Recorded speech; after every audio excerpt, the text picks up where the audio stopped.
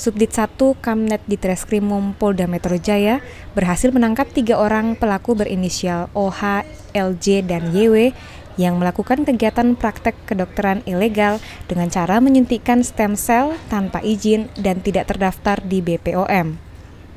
Para pelaku menjual serta mengedarkan jenis obat berupa stem cell dengan merek Kintaro yang tidak terdaftar di BPOM dan tidak memiliki izin dari Kementerian Kesehatan Indonesia. Pelaku OH yang merupakan dokter umum menyuntikkan obat tersebut kepada pasiennya. Sementara stem cell adalah obat yang harus memiliki izin khusus dan harus dilakukan oleh dokter ahli yang telah memiliki sertifikat. Dari kegiatan ini, para pelaku berhasil mendapatkan keuntungan sebesar 10 miliar rupiah. Ya,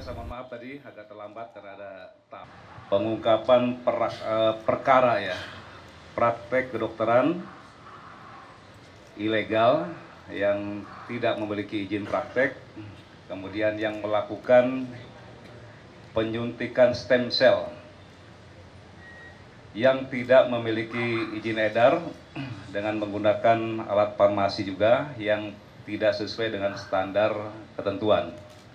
Dan tentunya kami pun eh, koordinasi dengan Dinas Kesehatan DKI juga dengan Kementerian Kesehatan RI, juga dengan uh, koordinasi dengan Balai POM, dan memang untuk praktek tersebut uh, seperti yang tadi saya sampaikan bahwa ini tidak ada izinnya.